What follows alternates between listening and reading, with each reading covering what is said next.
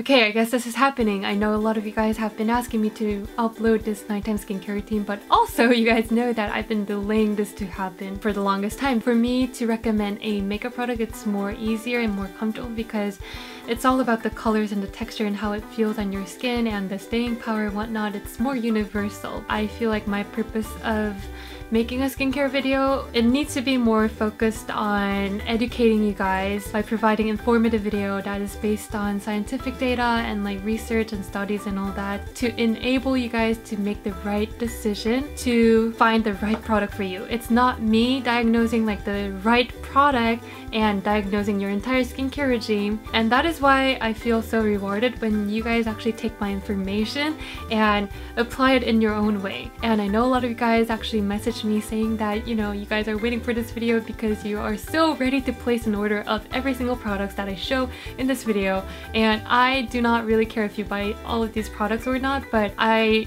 just feel like that's not really my purpose of making skincare videos. And another thing that you guys need to know that is I do not have a set solid skincare routine given the fact that I test out different products every now and then. I really wish I can commit to one single, just basic, just minimal skincare routine, but it never allows me to do that. I actually play by ears day by day, listening to what my skin needs and examining what my skin condition is that day. I would use different products, but I always play within the safe product zone that I know it's not going to over irritate my skin or over stress my skin, but I don't want you guys to use so many different products in one skincare routine less is more when it comes to treating acne prone skin. There's a lot of reasons why I was delaying this video. My ideal skincare routine in my head would be completely toxic, hazardous, ingredient free, including fragrance including essential oil that is actually there to enhance the sensorial because those can actually sensitize your skin too. It's just a massive struggle for me to actually find decently performing product that doesn't have fragrance. So that's my biggest issue.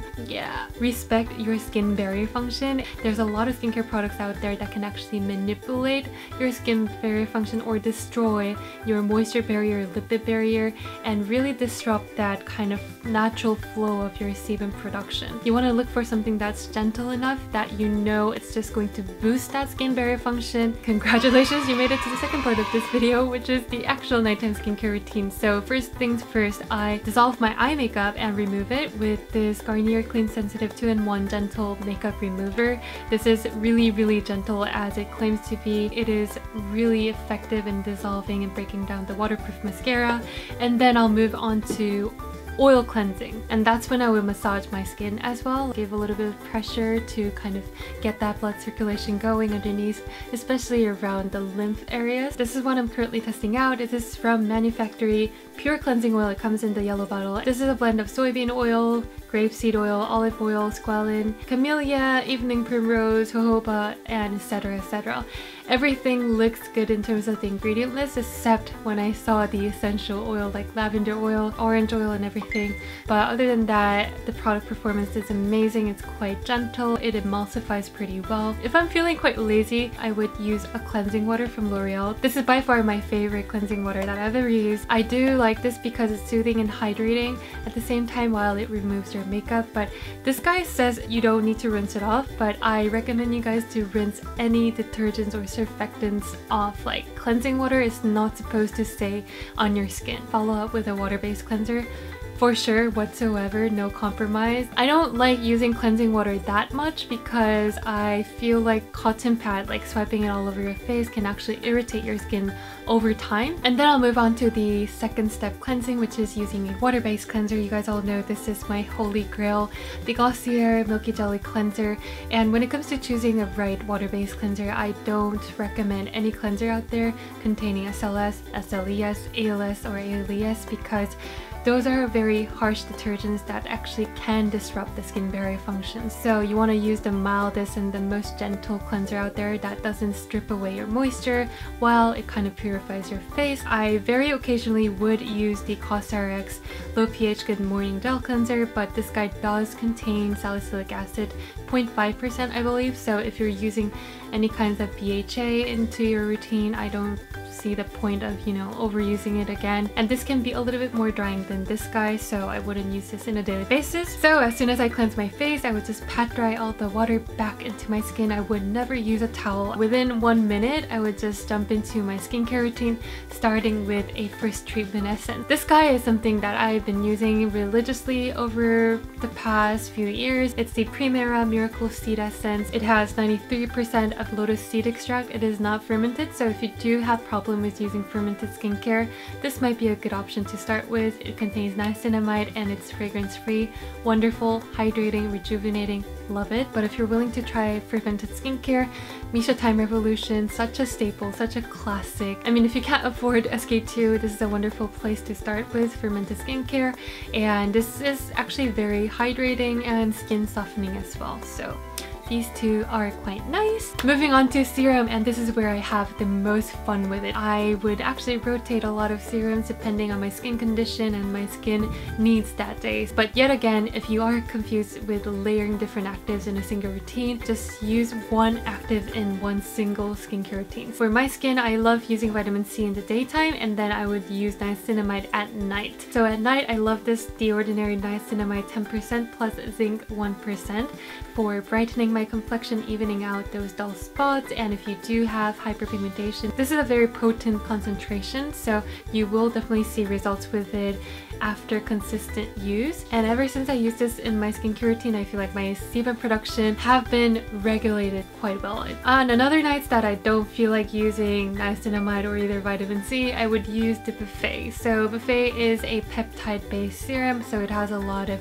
different complexes or compounds of peptides that can build the amino acid and the fatty acid on your skin. You can find more detailed review on the ordinary products in the dedicated review. I will leave it up there. Moving on to a moisturizer, this kind of gets a little bit complicated because I just love mixing oil and creating my own moisturizer. So these two products are my cocktail base for my moisturizer. It's the Glossier Super Bounce and this is the Drunk Elephant B Hydra Intensive Hydration Gel. The main ingredients for both products are hyaluronic acid and vitamin B5 panthenol which are the wonderful water retaining humectant ingredients. If you're using these alone it might be too dry but when you mix some oil with it wonderful. And I sometimes can't be bothered mixing everything together so I would just reach for a moisturizer. And you guys all know I've been religiously using this Primera Alpine Berry Water Cream for ages, like for years and years. The texture is more emollient so it will be more suitable towards normal to combination skin.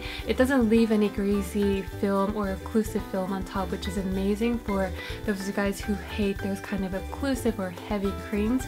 It's like a very basic moisturizer that does it all. If you do have a little bit oilier skin, this is a wonderful option that I recently discovered and I've been using it quite a bit because the weather has been warming up in Korea so this is perfect. This is the VPROVE Optumula Hyaluronic Potent Balance Cream. If you feel like your moisture and oil balance is kind of like out of whack, this is like a wonderful option that can actually balance it out, I would say. It's a very, very lightweight. It absorbs pretty well without drying your skin out. It pretty much hydrates your skin from like the deeper layer onto the top and it plumps your skin.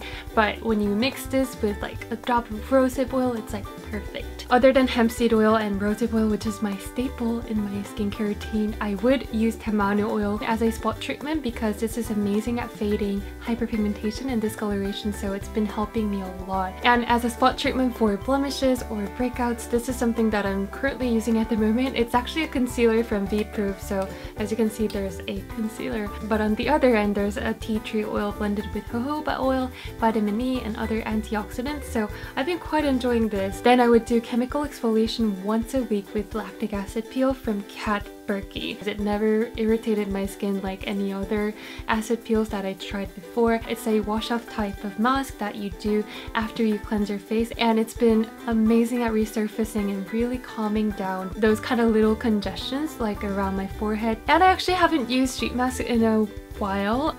The last time I used sheet mask was like three months ago and that's a record but I feel like I'm pretty balanced in my skincare regime already that I really don't need another step but if I do need a little bit of extra oomph to my skin I would use these two masks. This is the Galaxy Pack from Glossier. It's actually a clay mask. It's the first clay mask that I found non-dried and it actually doesn't drip away your natural moisture or your natural oil. It actually keeps your skin really really hydrated but purified. An oldie but goodie, here we have the Cosrx Rice Mask and it's a sleeping mask so you apply this at the end of your entire nighttime skincare routine so if I feel like my skin needs a little bit more intense nourishment or moisture, this is something that I would layer after my moisturizer. I wish I had you back, lay next to you and kiss your neck. To feel your heartbeat next to mine. You don't know how much I miss the time. I know I did you wrong when I left today. I just wasn't aware what this would do to me. I was the one to break our love into pieces. And now I can't believe.